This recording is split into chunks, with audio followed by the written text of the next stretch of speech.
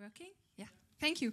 Thank you very much, first of all, for inviting me here today. So it's been a pleasure, big pleasure.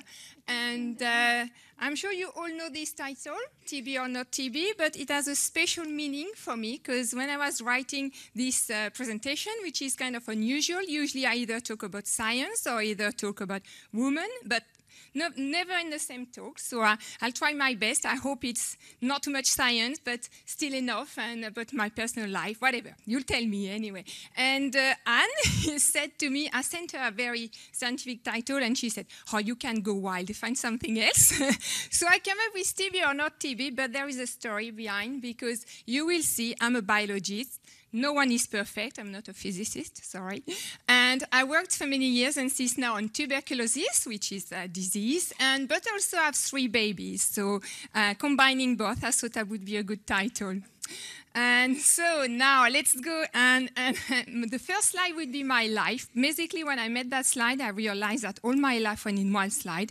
A bit scary at first, but you will see it's a good resume. So I did all my undergraduate in France, and uh, at the end of my master in 1997, I realized when I was reading publications, so it's nothing glamorous about going abroad to do my PhD, but just that I couldn't read one word in English. I mean, it was not complaining about the French system, but I realized at that point that if I wanted to become a researcher, it will be really convenient to speak English. Some, you know, problems, you know, fluent people like in England or whatever don't have. So then I decided to apply for a fellowship in the John Innes Center, which I got. And actually that was the best move I have to say I made in my life, even if my parents were not really keen on letting me go at that time, even if my dad is a scientist himself.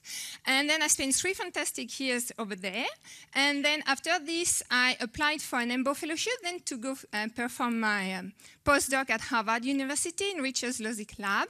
And then I came back to France at one point, where I uh, joined the lab of Alain Cauzon in Lyon.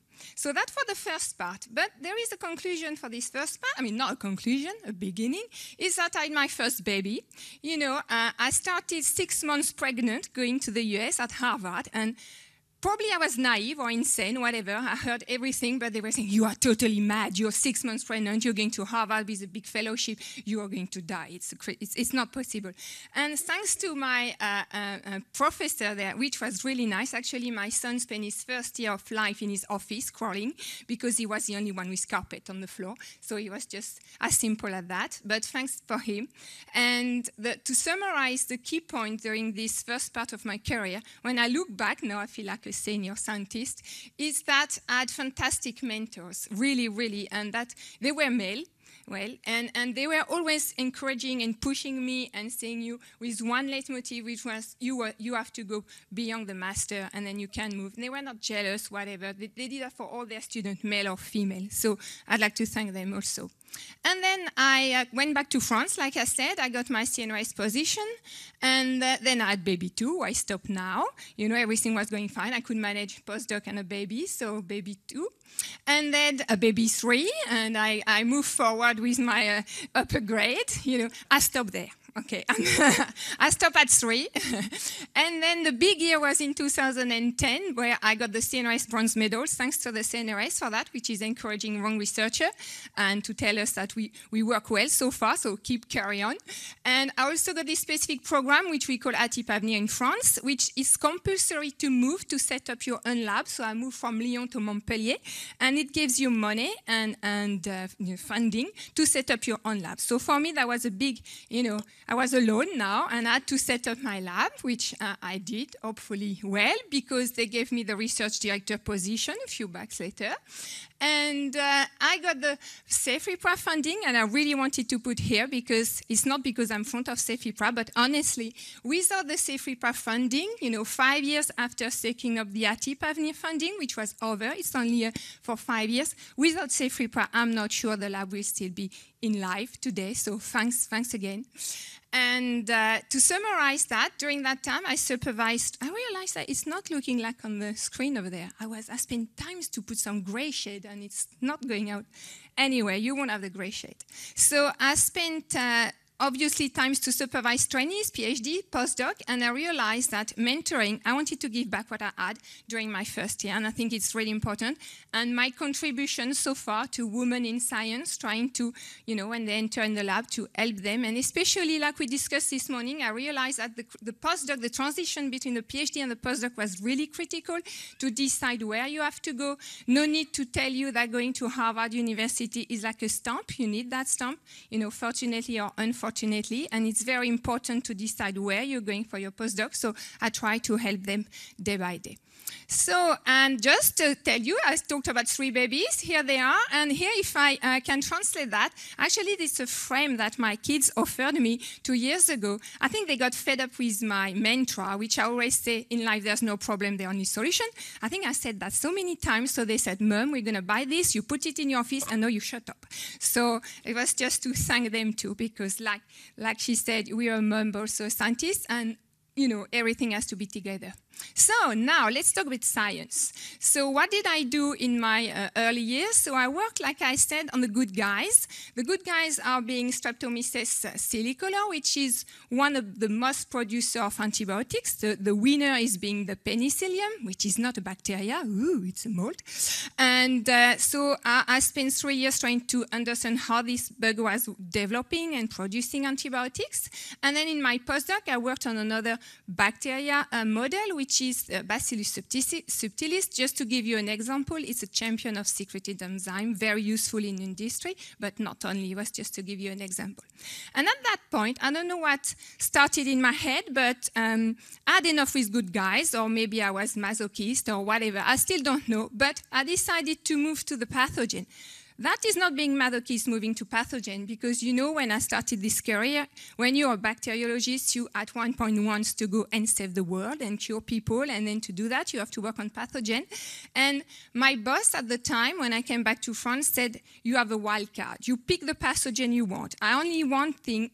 You have to find a pathogen, and we set up that for you in Lyon. And I said, okay, let's go to TB.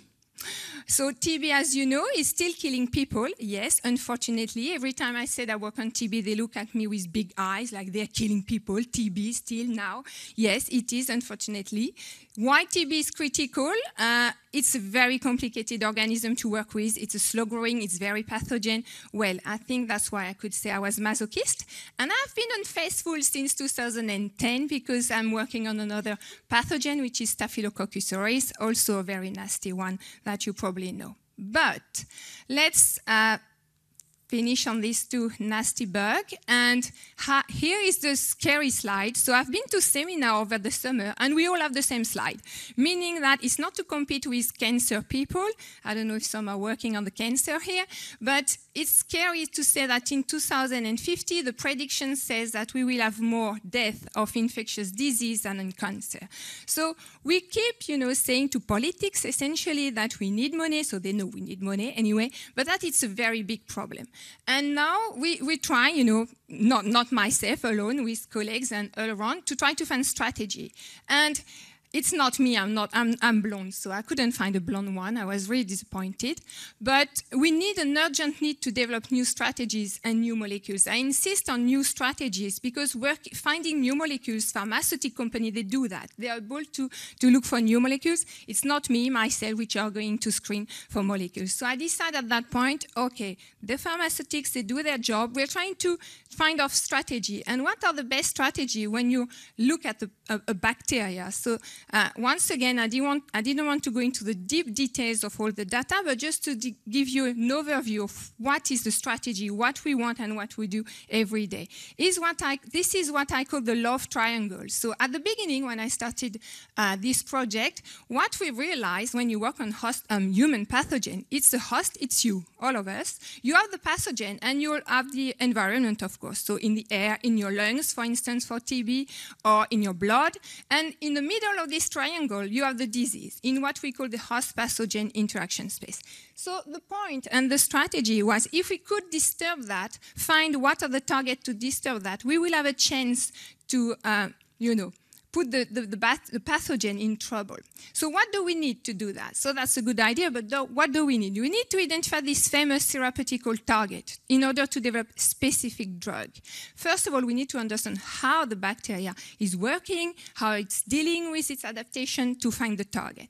So how we do that? So I did that. I, I used my expertise that I developed on non-pathogen on the first year, and then I decided to move this expertise to the pathogen and see if it would work. And fortunately, and now you all wonder what is her expertise. So my expertise is to work on these proteins, what we call bacterial kinases and phosphatase. So on, and at the time it was kind of uh, uh, you know, fighting against a dogma because at that time, these, these proteins, which are key regulator, this is how the bacteria are sensing their environment. The dogma that was bacteria, they're not clever enough. They don't have these kinases, which are usually only, they were only found in eukaryotes, you and me, you know, the upper organism. And with the sequencing of the bacterial genome, we came to the reality that in fact they were present in bacteria and that they were important. Anyway, several years later, to make a long story short, we found that these indeed kinase and phosphatase were major players in, in pathogenesis. And here it's a kinase, and it's to make it quickly, it senses the environment, it's in the membrane of the bacteria. It goes from a status from active to inactive via phosphorylation. And this phosphorylation is going to, I mean, this kinase of phosphorate is interacting with target. And over the years, we could prove that the phosphorylation and the kinase of phosphatase were involved in antibiotic target or in cell division or in metabolism or in cell wall biosynthesis. So you see that one single protein kinase regulator can have a, can have a pleiotropic effect on different pathways. So that was the proof of concept was val validated to say that these molecules are are important, as well as the targets to indeed, you know, um, modify and, and, and disturb the, the, the pathogen interaction. So let's come to the CEFIPRA project. I need some water. Mm, I have some here. Sorry. If I'm too fast, you tell me. So I, I, like to uh, present, the, we always thank people at the end of the seminar, and I want to thank them before, then you can have an idea of the face of the people I work with. So, let's walk. Mm.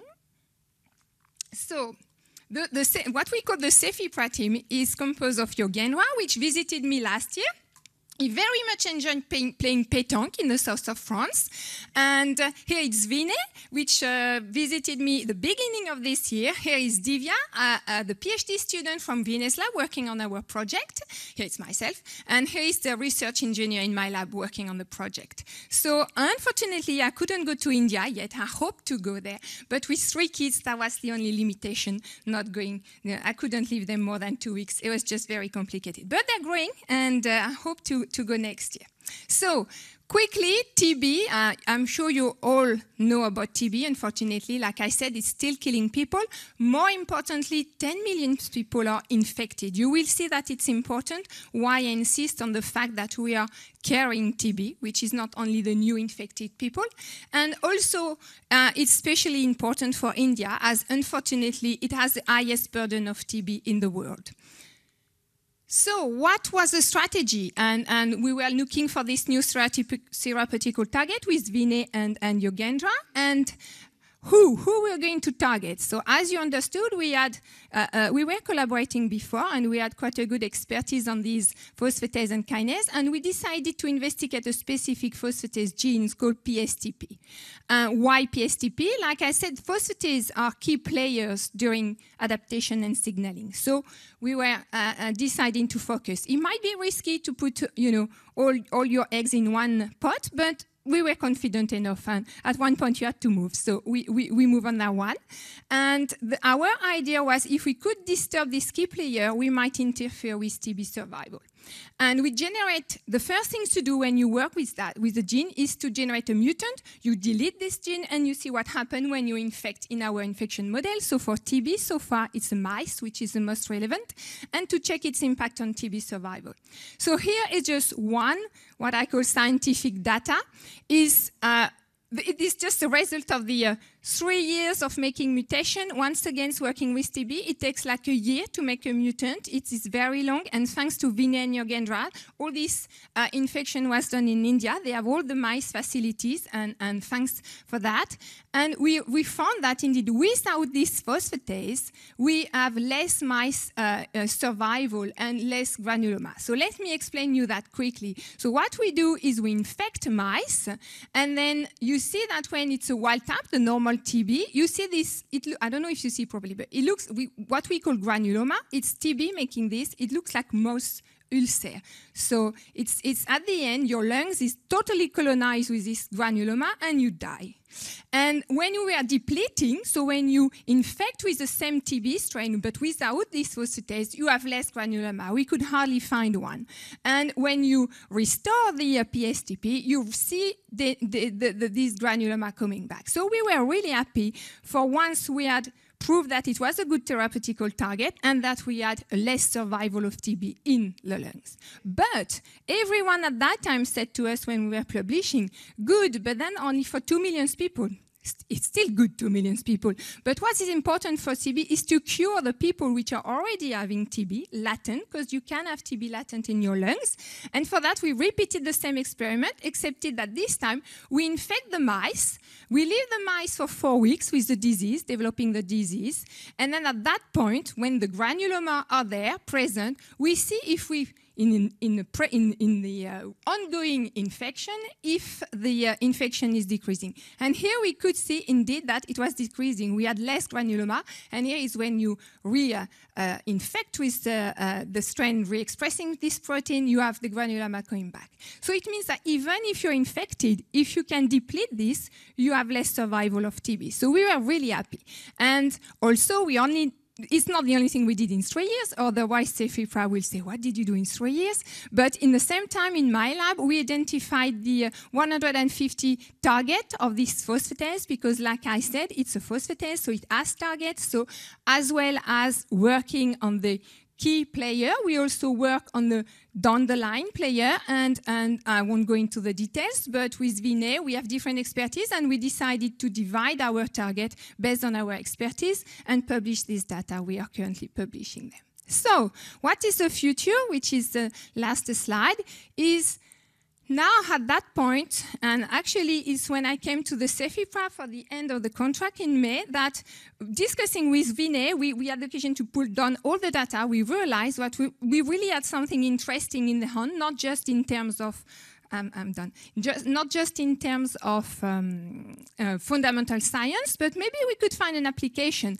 And based on the, what I know, uh, the expertise I have in my lab, actually, because for Streptomyces, uh, oh, Streptomyces, Staphylococcus aureus, we developed what I call a zebrafish automated plate fluorimetry. To make it simple, we use this model, which is very nacelle convenient, much more cheaper than mice. We couldn't do screening on mice. And what we plan to do is we infect our zebrafish with uh, Mycobacterium, not the tuberculosis, but marinum, which is the, the, the, TB form for the zebrafish. And then we're just going to look with the microscope how the infection is going. And then we're going to string for drugs for that. So everyone, when we write grants, I'm sure you all part, I mean, at least for people working on pathogen, we always end up our grants saying we are going to find molecules and do drug screening. But this time, really, I believe that we can do it because first, we have the expertise to do it. We have the good target, and uh, I'm very impatient to interact with people here which are going, which are working on drug uh, also uh, design. And uh, I'll stop there. Just a take-home message is that women and science, I think you can, even if, of course, it's complicated. But I also have two teenagers, very hard. But uh, the, I'm trying to uh, educate my boys uh, in the right way with a good attitude. I will tell you in 10 years if I'm still here, if I succeed or not. And uh, last one, uh, I, I wanted just to conclude on that, which is my only participation, uh, participation, is that mentoring, I realized that it was essential. Without the mentor I had, I don't think I'll be the scientist I am now. And then I'm very happy also to say that I'm part recently of this association in France, Famine uh, uh, and Science, and I'll try to help and do what I can. Thank you very much. Thank you. Are there uh, questions, comments? Yes. They all sleep. They all sleep. Uh, just one uh, question, um, a very naive one. Uh, uh, so the problem with the TB with TB is that uh, very quickly it becomes uh, drug resistant, Yes. right? the drug resistant strains uh, come up, Yeah, yeah, yeah. Especially uh, in I mean India uh, because the antibiotic Yeah, is not completed is to its bad, uh, its yeah. course is not completed. Therefore, we have this problem all the more. Uh, the point is, uh, any reason why this particular molecule you have uh, uh, you have high hopes, but again, uh, drug resistance will come up.